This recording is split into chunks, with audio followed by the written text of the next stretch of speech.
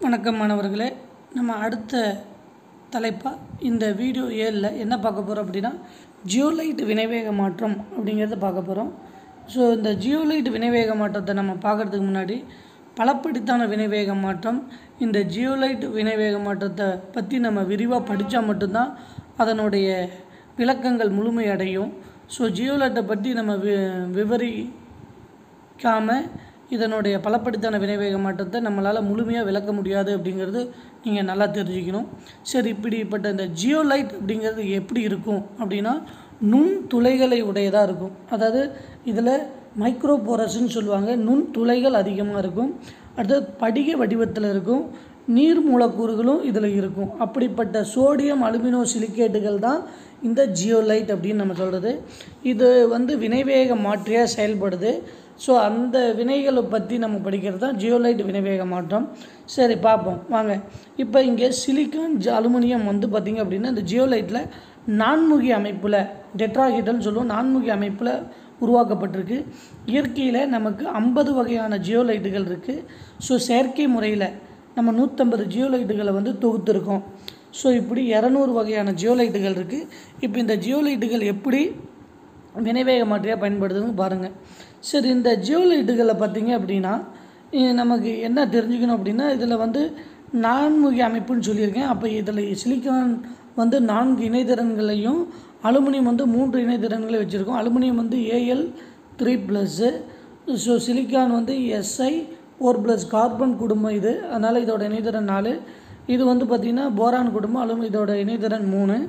ஓகேங்களா?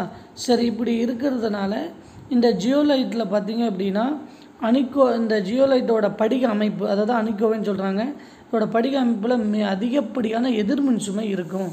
இந்த எதிர்மின் சுமையை நடுநிலை ஆக்கிறதுக்கு அதாவது பேலன்ஸ் பண்ணுறதுக்கு நமக்கு இதில் ஹச் ப்ளஸும் என்ஏவும் இருக்கும். அதனால தான் இதை நான் ஸ்டார்டிங்லேயே சோடியம் அலுமினோ சிலிக்கேட்டுன்னு சொன்னேன்.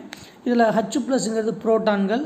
ஸோ இந்த புரோட்டான்களும் இந்த என்ஏவும் சேர்ந்து தான் அந்த அதிகப்படியான எதிர்மின் சுமையை என்னது சமம் சமன் செய்து இந்த கட்டமைப்பு சாரா அயனிகள் இதில் இருக்குது. அதாவது அதிகப்படியாக இருக்குதுங்கிறாங்க.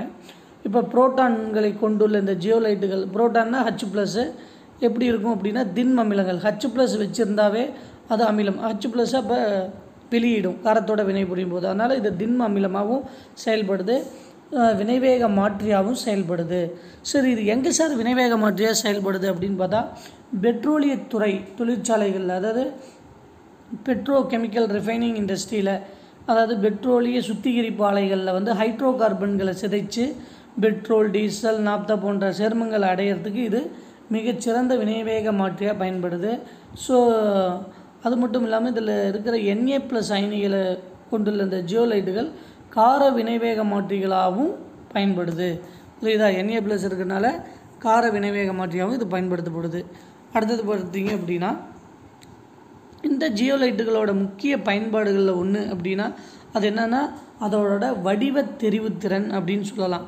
வடிவ தெரிவுத்திறன். அது என்ன சார்? வடிவ தெரிவுத்திறன். அப்படின்னா இப்போ ஒன்றும் இல்லை. இப்போ இந்த வடிவ தெரிவுத்திறன் ஜியோலைட்டுகளில் வந்து பிணைப்பட்ட பொருள்கள் விளைபொருள்கள் இடைநிலைகள் இருக்கும். அதை தான் நம்ம செ- சொல்லணும். இப்போ இந்த ஜியோலைட்டில் கிளர்வு மையங்கள் அதாவது புரோட்டான் நுண்துளைகள் வந்து அமைஞ்சிருக்கும். நுண்துளைகளுக்குள்ள இருக்கும். இந்த புரோட்டான்கள் எங்கே இருக்கும்? நுண்துளைகளுக்குள்ளே இருக்கும். அதனால் ஜியோலைட்டுகள் வந்து நுண்துளைகளுக்குள் மட்டும் இந்த வினை நடக்கும். புரியுதுங்களா? ஜியோலைட்டோட நுண்துளைகளுக்குள்ளே மட்டும்தான் நடக்கும். அப்போ ஜியோலைட்டுகளில் கிளறு மையங்கள் அதாவது புரோட்டான்கள் வந்து நுண்துளைகளில் இருக்கும். இந்த இதுதான் கிளறு மையமாக பயன்படுது. அதனால் நுண்துளைகளில் இதனோட வினைவேக மாற்றம் நடக்கும். ஸோ இப்போ இதோட வடிவ தெரிவுத்திறன் அப்படிங்கிறது என்னென்னு பார்த்தா முதல் வடிவத் தெரிவுத்திறன் எடுத்துக்கிட்டோம் அப்படின்னா வினைப்படு பொருள் தெரிவுத்திறன். வினைப்படு பொருள் தெரிவித்திருந்தால் ஒரு வினைப்படு பொருள் கலவையில் இருக்கக்கூடிய பெரிய மூலக்கூறுகள்லாம் ஜியோலைட் படிகத்தோட கிளறு மையங்களை சென்றடையாமல் தான் நுண்துளையை சென்று அடைய முடியாது. இதனால தான் இதை வந்து வினைப்படு பொருள் வடிவ தெரிவுத்திறன் சொல்கிறோம் அப்போ ஒரு ஜியோலைட்டு வந்து பார்த்திங்கன்னா மிக நுண்ணிய துளைகள் இருக்கனால அதில் சிறிய வினைப்படு மூலக்கூறுகள் மட்டும்தான் போய் வினை புரிய முடியும். ஓகேங்களா? அப்போ பெரிய மூலக்கூறுகள் இருந்தால் கொஞ்சம் சிரமம்தான். அடுத்தது பார்த்திங்க அப்படின்னா இடைநிலை சேர்மம் தெரிவுத்திறன் ஒரு வினையில் இடைநிலை சேர்மம் உருவாகுது அப்படின்னா அது வந்து ஜியோலைட்டோட நுண்துளையை விட அளவில் பெருசாக இரு இருந்துச்சு அப்படின்னா விளைபொருள் உருவாக முடியாது. அதனால் அளவில் கொஞ்சம் சின்னதாக இருந்தால் தான் அந்த நுண்துளை வழியாக போய் வினை நடக்கும். அதனால் இடைநிலை சேர்ம தெரிவுத்திறனுங்கிறது ரொம்ப முக்கியம். மூணாவது நமக்கு என்னது? விளைபொருள் தெரிவுத்திறன்.